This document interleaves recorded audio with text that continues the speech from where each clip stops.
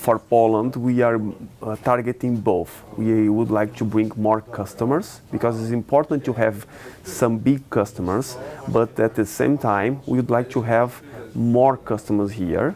This is one topic, and we would like to have more type of services, not just new services, but with the service that we are already providing, maybe we can provide in different type of platforms, technologies.